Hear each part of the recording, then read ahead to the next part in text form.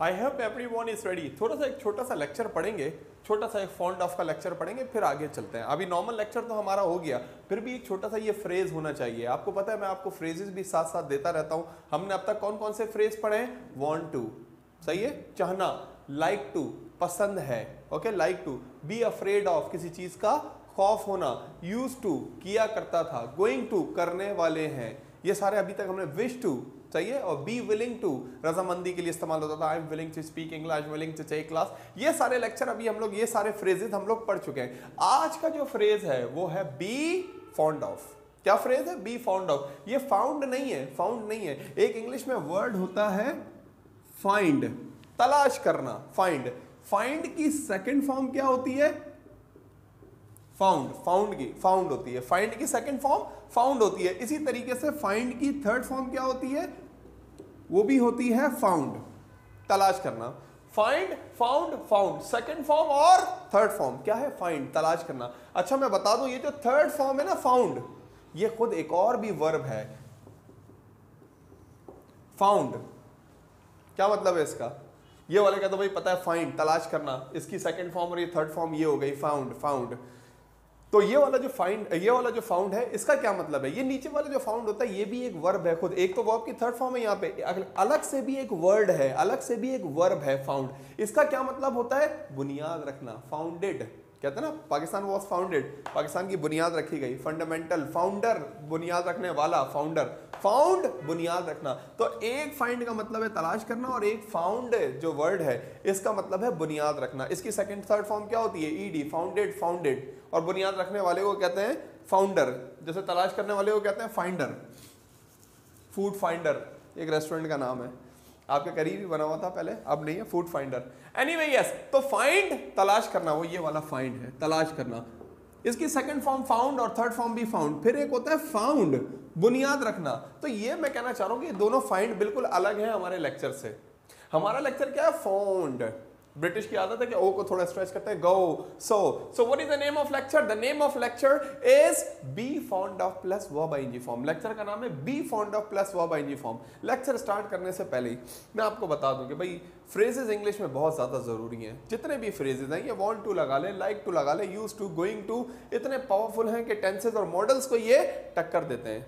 So I think we should now start be fond plus verb ING form lecture का नाम है be fond plus verb ING form क्या बात करता है? When you enjoy doing something, when you enjoy doing something, अगर उर्दू में इसकी मैं आपको हिंट दूँ, अदनान यस उर्दू में अगर मैं आपको इसकी हिंट दूँ तो उर्दू में बड़ी सिंपल सी हिंट है इसकी, शौकीन।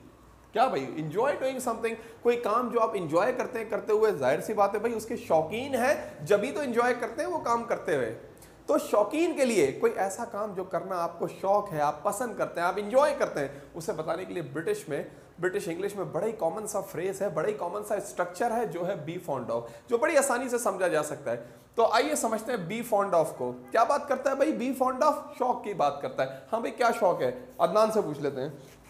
क्या शौक है? अदनान कहता है, सर, मुझे इंग्लिश बोलने का शौक है। मैं इंग्लिश बोलने का शौकीन हूँ। सही है भाई। क्या शौक है भाई? सर, मुझे क्रिकेट खेलने का शौक है। मैं क्रिकेट खेलने का शौकीन हूँ। सही है भाई। सो अलीसा से पूछ लेते हैं कि भाई, क्या शौक है? अलीसा कहती है, भाई, मुझे जो है ना, खाना बनाने का शौक है। मैं खाना बनाने की शौकीन हूँ। तो ये सारी बातें, जब शौक की बात करते हैं, मैं कहता हूँ, उजैर, क्या शौक है? कहते हैं, सर, मुझे ऐसे लिखने का शौक है।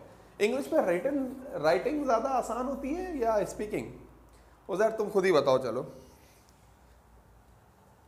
एग्जैक्टली. इंग्लिश में राइटिंग मुश्किल है स्पीकिंग आसान है. राइटिंग जरा बताना राइटिंग में कितने टी आते हैं? बड़े लोग गलती करते हैं राइटिंग में डबल टी लगा देते हैं. राइटिंग में हालाँकि कौन, कितने टी आते हैं? राइटिंग में सिर्फ़ एक टी आता है.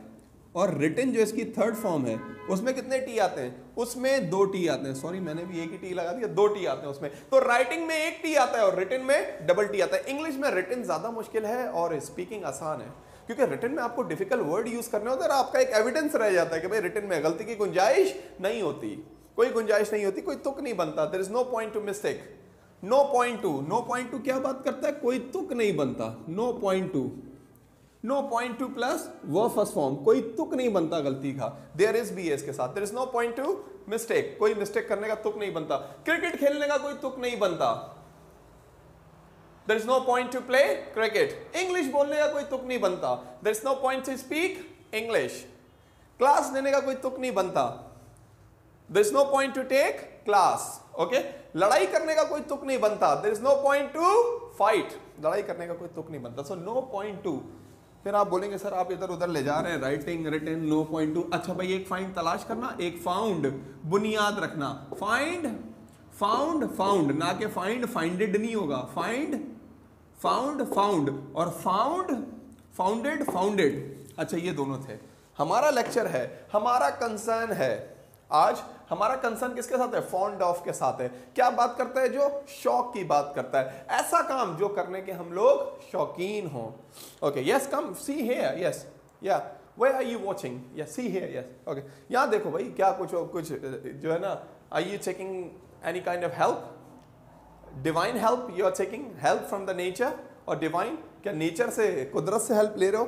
कुदरत को क्या बोलते हैं हम लोग? नेचर और जो मैंने वर्ड यूज़ किया डिवाइन इसका मतलब है गैब anyway yes so when you enjoy doing something जब किसी काम को आप करने के बहुत ज़्यादा शौकीन हो, यहाँ पे बहुत सारे लोग बैठे हैं, अजरा बैठी हैं किसी ना किसी काम की ये शौकीन होगी। हाँ भाई, अजरा, किस काम की शौकीन है आप?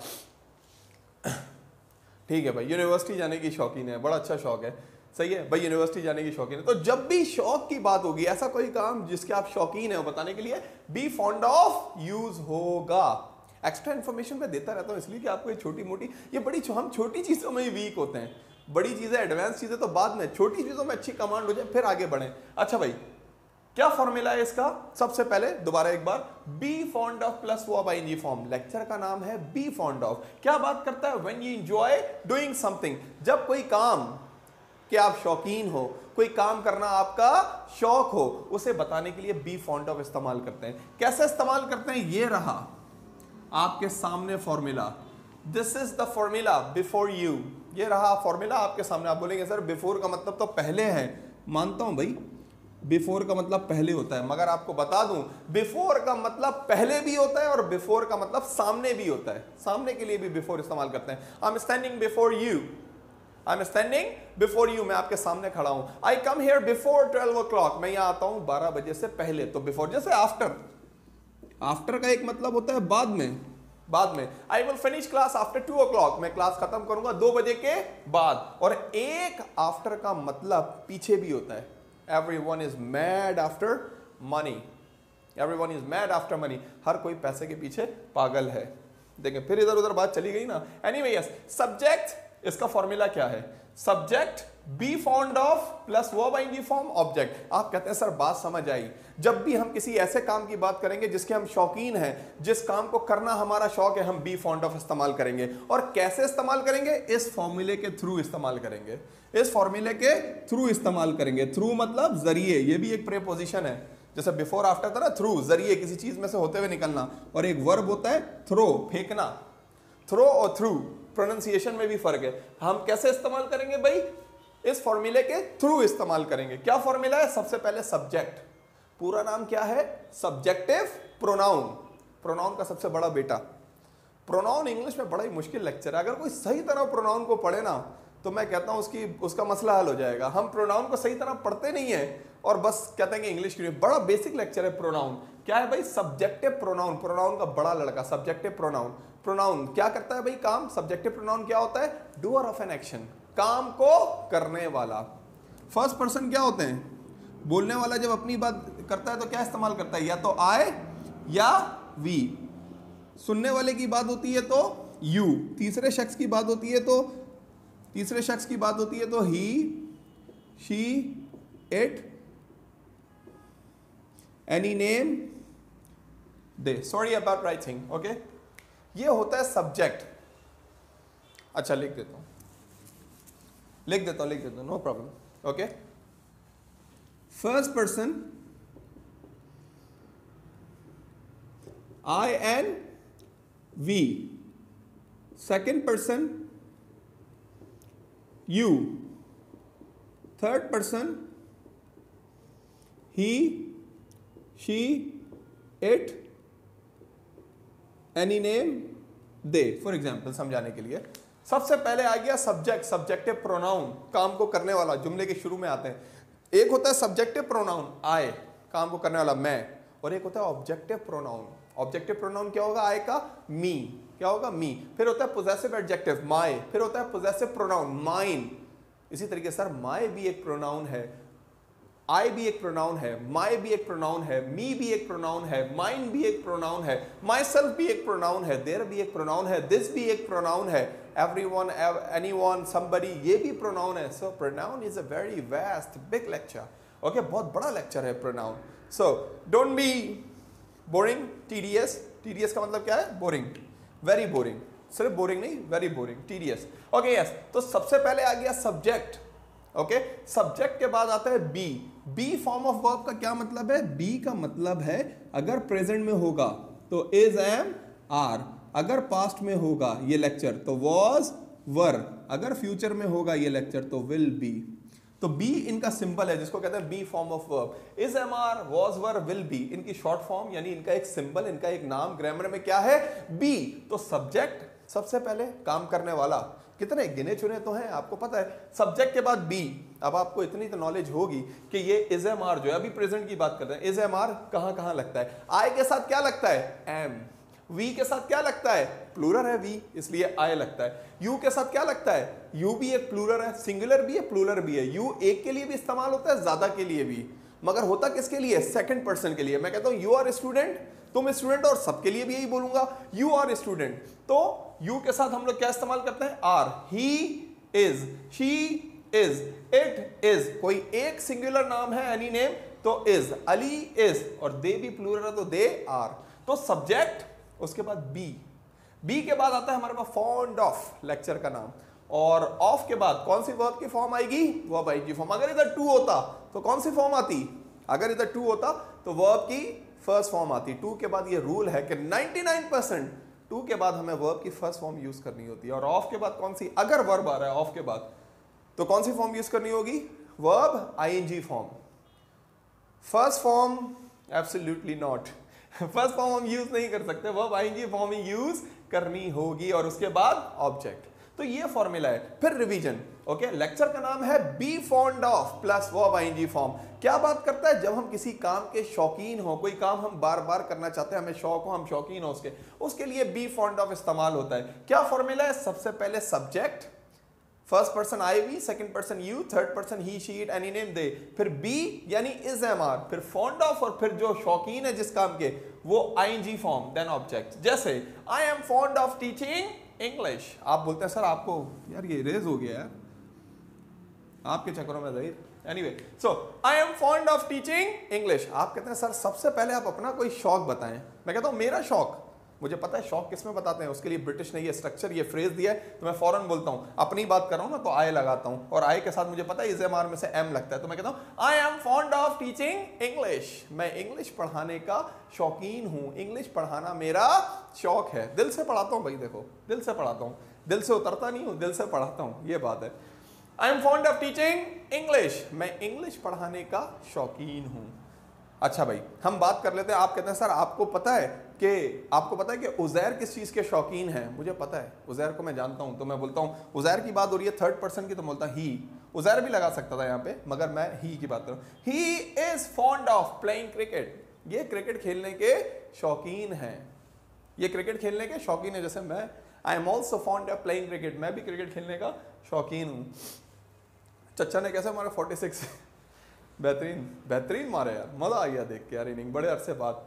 हफीज़ याद आ गया, मोहम्मद हफीज़। मोहम्मद हफीज़ के भी ऐसे कंप्लीट सक्सेस थे तो मुझे वो याद आ गया। हमारे भी ऐसे सक्सेस हैं यार, ऐसा मसला नहीं है, कभी देखो। Anyway yes he is fond of playing cricket वो क्रिकेट खेलने का शौकीन है। She is fond of cooking food Azra की बात कर लेते हैं। आप कहते हैं, सर, आप पूरी क्लास से मैं पूछता हूँ, भाई, अजरा के भी तो कोई काम बताएँ जो इनको करना पसंद है? तो आप फ़ौरन बोलते हैं, sir she is fond of cooking food वो खाना बनाने की शौकीन है। तो आप लोग किस किस चीज़ के शौकीन है? कुछ सेंटेंसेस हो जाए आपकी तरफ़ से। बनाएँ कि भाई I am fond of writing lecture he is fond of going Bairia town ये बैरिया टाउन जाने के शौकीन है भाई। तो ना he is fond of no no no so fond of किसी चीज़ के शौकीन होना। अच्छा जब हम इसके नेगेटिव की तरफ़ जाते हैं, थोड़ा सा मैं रिमूव कर दूँ ये? जब हम इसके नेगेटिव की तरफ़ जाते हैं नेगेटिव तो बी वाले जितने भी फॉर्मूले हैं बी वाले, उनका नेगेटिव बनाना तो बहुत ही आसान है। I am fond of I am not fond of teaching English मैं कहता हूँ कि भाई, मैं इंग्लिश पढ़ाने का शौकीन नहीं हूँ। पैसे के लिए पढ़ाता हूँ। ये तो आप बेहतर जानते हैं कि ये लो yes I am not fond of teaching English मैं इंग्लिश पढ़ाने का शौकीन नहीं हूँ। तो जब नेगेटिव बनेगा तो सिर्फ़ बी के बाद नॉट लगा देंगे, कोई रॉकेट साइंस नहीं है। जब सवाल बनेगा तो यही बी शुरू में आ जाएगा। Is he fond of playing cricket क्या वो क्रिकेट खेलने का शौकीन है? मैं इंग्लिश बोलने की शौकीन हूँ। I am fond of speaking English मैं प्रेजेंटेशन देने की शौकीन हूँ. I am fond of giving presentation मैं पिज्जा खाने का शौकीन हूँ. I am fond of eating pizza so whenever we talk about the keen शौक की बात होगी तो बी फॉन्ड ऑफ़ इस्तेमाल होगा. ये लेक्चर पास्ट में भी जा सकता है. Okay okay? जैसे I am fond of teaching English मैं इंग्लिश पढ़ाने का शौकीन हूँ. पास्ट में जाएगा तो was I was fond of teaching English मैं इंग्लिश पढ़ाने का शौकीन था. अब नहीं हूँ. और फ्यूचर में भी जा सकता है. कि आई विल बी एक बार टीचिंग आ जाए, बस देखो फिर। I will be fond of teaching English मैं टीचिंग करने का, मैं इंग्लिश पढ़ाने का शौकीन होऊँगा। चलें वापस प्रेजेंट पे आ जाते हैं। प्रेजेंट में ज़्यादा यूज़ होता है ना, इसलिए। I am fond of teaching English बात समझ आई कि लेक्चर का नाम है be fond of plus verb ING form क्या बात करता है? When we enjoy when you enjoy doing something किसी काम के आप लोग शौकीन हो कोई काम करना आपका शौक हो, आप बार बार करते हो। चलो भाई, ये बात समझ आती है। फॉर्मूला इज़ फॉर्मूला ना के formula formula stupid student you को सही बोलना है। Subject plus be fond of plus verb ING form plus object ये फॉर्मूला है। I am fond of teaching English मैं इंग्लिश पढ़ाने का शौकीन हूँ। मगर आपको एक बात बता दूँ मैं।